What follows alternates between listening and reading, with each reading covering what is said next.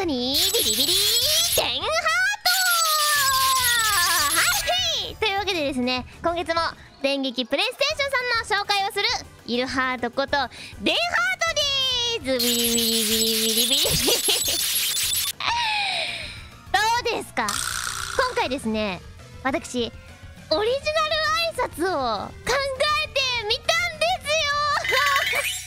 いややっぱりねこう毎回同じ挨拶だとねこうねイルハートもみんなも飽きてくるんでね。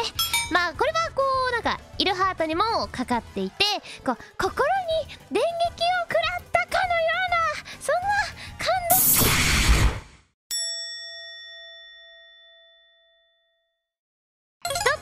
感動するときにこう心に電気が走るみたいな言うじゃないですか。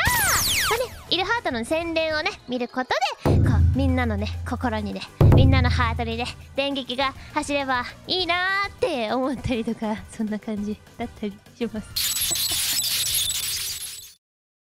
電撃大好きビリビリビリビリビリビリビリビリ今月号の表紙はこちらじゃじゃーんライザのアトリエ常闇の女王と秘密の隠なんかこういうさ可愛いキャラが出るたびにねイルハートはどうすりゃ表彰もらえるんだろうといつも思っております。いやーなんかあのあれですよ。何のゲームも発売しない月とかなんかね。では早速いつものこちら。ジュクジュクジュクジュクジュクジャーン。ついに配信となった OVA 超次元ゲームネプテューヌ。ネプの夏休みのさらなる情報を掲載。パチパチパチパチパチいやこちらはですね書き下ろしイラストや絵コンテなんかもねもりもりあるみたいだから要チェックです。いや正直ねあの OVA だしね。こうイラハートさ通行人役とかで出るかなって思っですけど。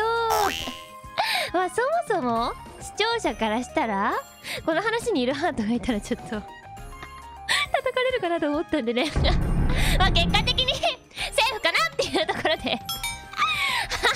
でもって次はこちら。じゃーんいつものレギュラーコーナーネップの回もあるんですけど今回のですね水野 P のの水野 P の P ってなんて読むんでしたっ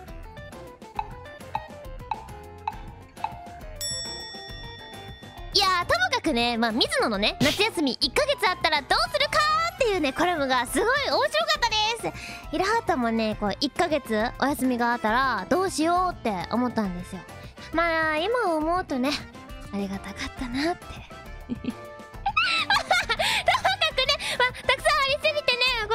か楽屋裏とかで話せたらいいなと思います。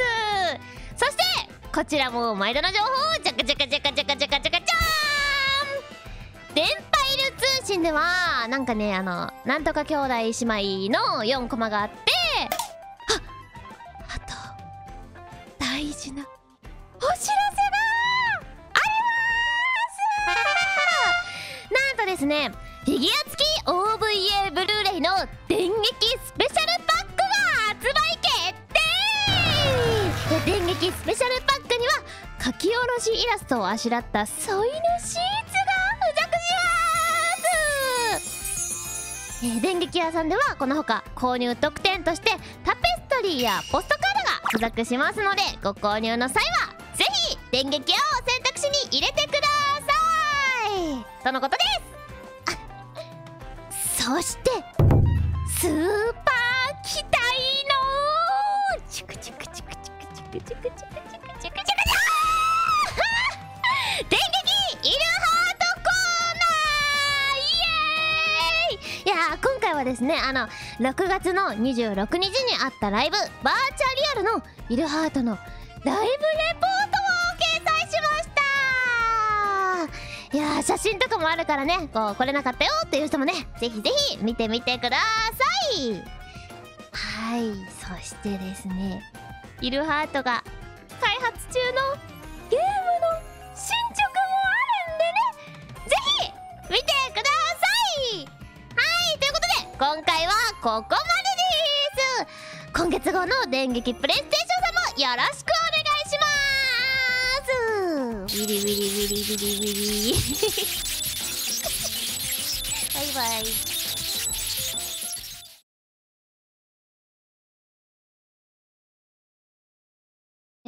ー、っと、イルハートが暑い時にする対処方法。えあの、イルハートが1ヶ月夏休みがあったらどうするかっていう質問じゃないんかい。